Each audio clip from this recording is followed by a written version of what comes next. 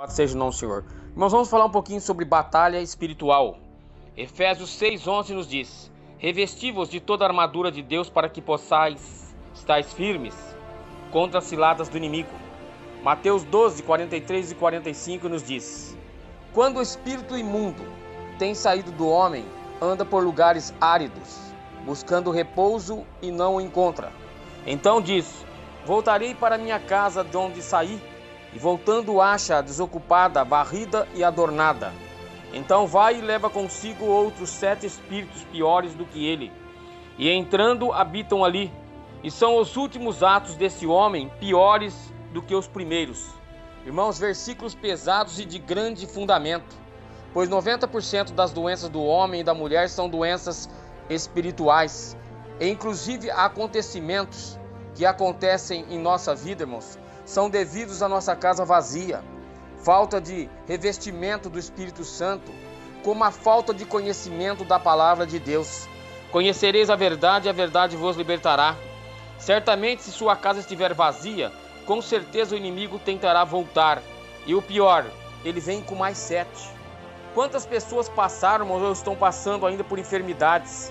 90% dessas enfermidades são problemas de ordem espiritual colocadas e não adquiridas. E como resolver, se nem o médico consegue solução? Aí que entramos numa grande batalha para tentarmos a cura.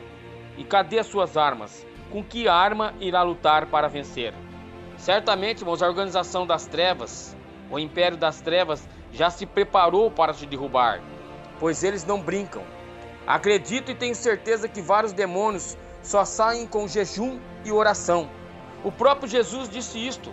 Esta palavra é como um sinal de alerta para você sempre ficar ligado, sempre preparado para alguma batalha, inclusive esta que você não vê com olhos normais, olhos de gente, e sim só com os seus olhos espirituais. Nossas orações, irmãos, têm que ser contínuas, a todo tempo e a toda hora. O inimigo não brinca e nem dá descanso. Então, cuidado com a brecha. Cuidado com o espaço que você deixa em sua casa. Se deixar espaço, com certeza sua casa ficará vazia. Sabemos que o Espírito intercede por nós, mas temos que abrir nosso coração a Deus. Apocalipse 3:20. Acredito que nossas orações e jejuns faz com que vários demônios deixem de atuar em nossa vida e fogem de nossa presença. Pois em primeiro lugar as trevas não combinam com a luz, e onde há luz há unção, e onde há luz há milagres a curas, a libertação. Assim, a vitória sobre o inimigo em uma batalha só resolve, irmãos, com muitas orações e jejum. Certamente a palavra de Mateus 12, 43 a 45, irmãos, nos direciona a pensar muito sobre a nossa casa vazia. E além de vazia, adornada. Vazia e deixar, é deixar espaço especial para os demônios, irmãos, entrarem de volta. Desocupada, varrida, adornada. Então voltam com mais sete espíritos piores do que estavam ali antes. Mas de qual casa estamos falando? A material ou espiritual? Casa com paredes, banheiros, salas? Certamente a Bíblia nos fala de nosso coração, nossa vida, mas também fala até mesmo da nossa casa familiar ou ainda nossa casa de oração. Depois de ter saído do homem, o espírito imundo, irmãos, busca repouso. Isto, isto nos dá a entender que o espírito esteja cansado, talvez pelo fato da luta em que perdeu, onde depositou toda a sua força e energia para vencer. Mas ele foi derrotado e agora cansado está em busca de repouso. E encontrando a casa vazia, logo volta. O texto, irmãos, nos ensina que o demônio derrotado anda por lugares áridos, secos, desprovidos de umidade o que nos sugere que eles passam por zombaria, deboche por parte de seus superiores.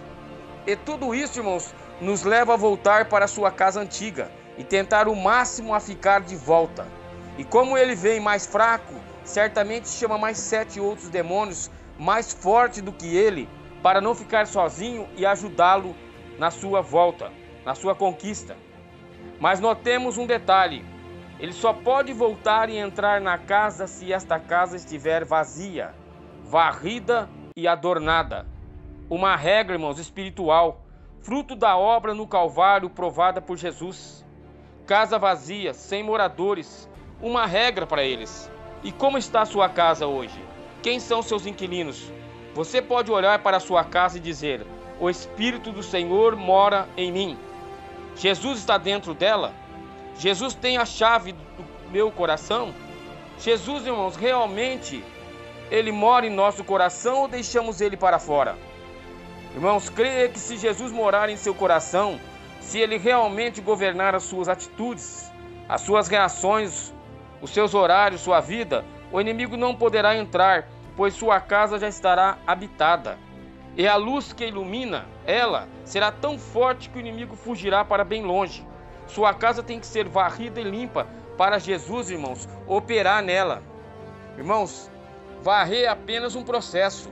Ela tem que ser lavada, ela tem que fazer toda a limpeza de despojos para que Jesus venha morar.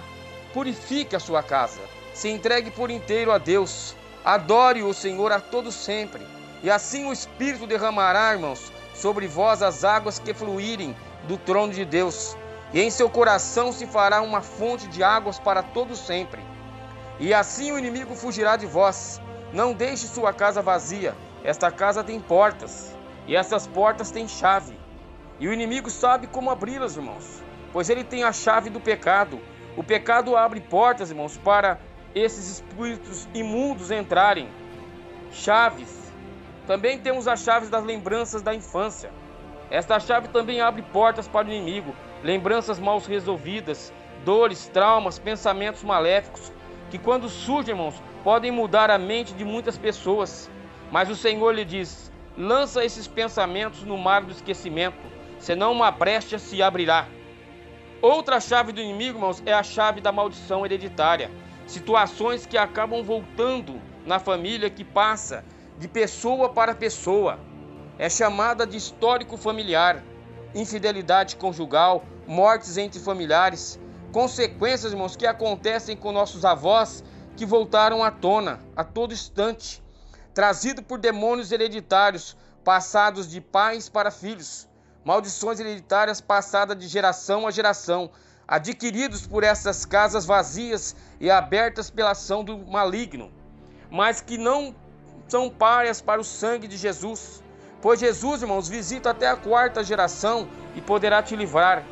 Deixe sua casa sempre cheia de Jesus, uma atitude que irá lhe garantir sempre a sua vitória se encha do poder do Espírito, e as trevas fugirá de vós. Aleluias.